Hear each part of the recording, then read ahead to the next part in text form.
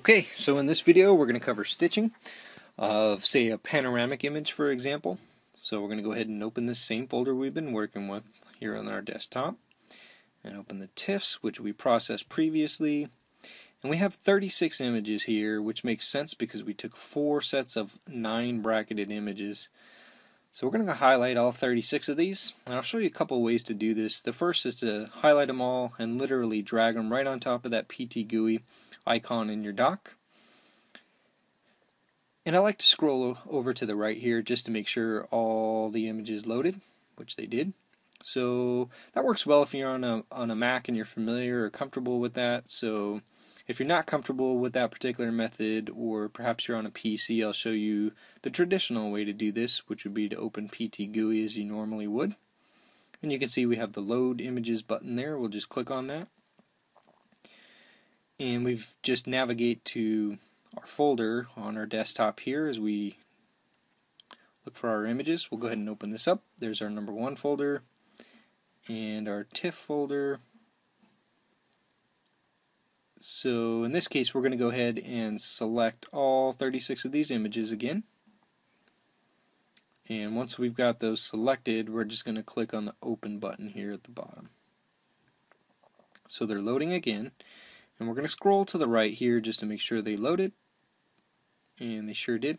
So at this point what I like to do is click on the Advanced tab. And this shows us all our options or all the tabs available across the top.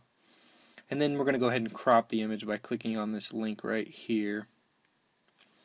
And I like to select a brighter exposure so I can see the uh, little more detail on the edges here. That looks pretty good. So we'll move this up just a hair and pull the bottom down. And that looks pretty good. We don't need to go crazy cropping here.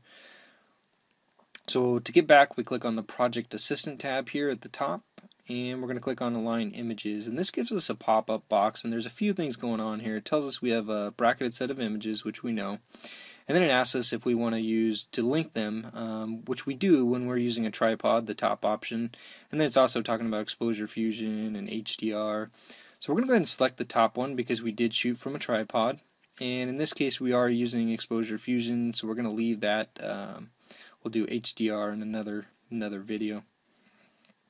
So um, this takes a, a little bit for these images to align. And of course, uh, the more memory you have, um, the faster this will go and processing speed, I suppose. So here's a, uh, a preview of the image. So we'll just go back here to PTGui and we can see our horizontal field view 181 which is pretty good. Uh, that'll make more sense as you play with the program. Um, we'll click on preview and I'm going to eh, make the uh, preview a little bigger than it defaults to, in this case 2500 pixels wide and this takes um, quite a while for this to process. So one of the things I, I, just mentioned was memory, and we'll talk about that again in just a little bit. But this preview is done. It's in QuickTime here, so we'll go ahead and open up our our QuickTime preview and close a couple of these. There we go. And I like to just drag this window and make it uh, even bigger. And this is our preview in QuickTime of our panorama stitched together. So I just click and drag on this image, and what I'm looking for are uh, bad stitches, uh, places where it wasn't stitched well together. Um, particularly, I look at uh, vertical or horizontal uh, lines and I always like to look at the floor as one of the places that uh, if you're going to find an error, you typically find one there. I didn't see any there. So look at the ceiling. Same thing here. If you're going to have a, a, a bad stitch, this typically will appear either in the ceiling or down in the floor. And this looks pretty good, to be honest. I'm not seeing too much here. So zoom out a little bit and I'm looking at this uh, where the TVs are mounted here looking at these lines, looking for a break there. I'm not seeing anything, so it's looking pretty good so far. Again, I'll look up here. I'm not seeing too anything wrong. Look at the chairs. So this is looking pretty good here. I think uh, I think we got a winner. So we'll close that. And at this point, we're going to go ahead and, um, well, I'll show you this. One thing I do like to do, it's got a neat little feature, Optimize Now, and it optimizes for the uh, camera's response curve as well as the vignetting.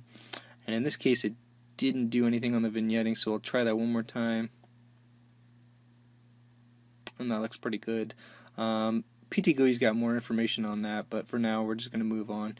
8,000 pixels, I'm just going to um, round this off to 8,000. Select TIFF, and then um, I'm going to go to no compression. And actually, there's 8 bits here. I am going to leave it in 8 bits because we're doing exposure fusion for HDR. You want to make that 16. And you have our LDR or low dynamic range options. I'm going to check blend planes and exposure fusion uh, preview. Exposure fuse panorama. So we'll go ahead and select our folder to save it to. And again, I'm going to create a new folder here and I'm going to call that uh, stitched. This is inside of our number one folder. So we'll go ahead and save that. So that tells us where we're saving it. And I'm going to go ahead and click create panorama. Now, I mentioned a couple times already that uh, the more memory you have and the more processing speed or power you have, uh, the faster this will go. This particular process can take a while depending on your computer's uh, specifications.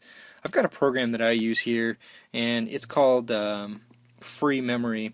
And it tells me how much memory I'm using. You can see here that it just dropped to 680 megabytes, um, and now it's back up to 2 gigs. So the more memory you have, it needless to say, the more processing power, the faster this process will go. Come on, you can do it. You can do it. Come on. Come on. I promise. Oh, there we go. Okay. So now you can see our memory went back to 4 gigs. It was all the way down to 680 while we were trying to stitch those. So we'll go ahead and uh, minimize this and close that. We've got all our images saved. We'll go uh, to our stitched folder that we made here just to check it out. And there they are. So we have 10 files here. Um, the This one here is a preview. Let's go to the first one. This is our brightest exposure, and we call these blend planes, or that's what PT calls them. So this is our brightest blend plane. This is the next brightest blend plane, and I'm looking at this area here, and you can see it's getting darker, and we're losing detail there, and it's completely gone at that point. And it's getting darker and darker and darker.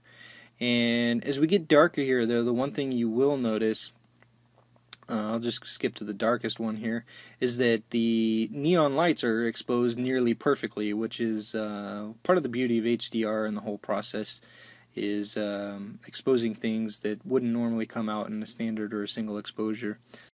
So our images have all been successfully stitched together and we have nine different blend planes or exposure levels which we're ready to now go ahead and process in Photomatix.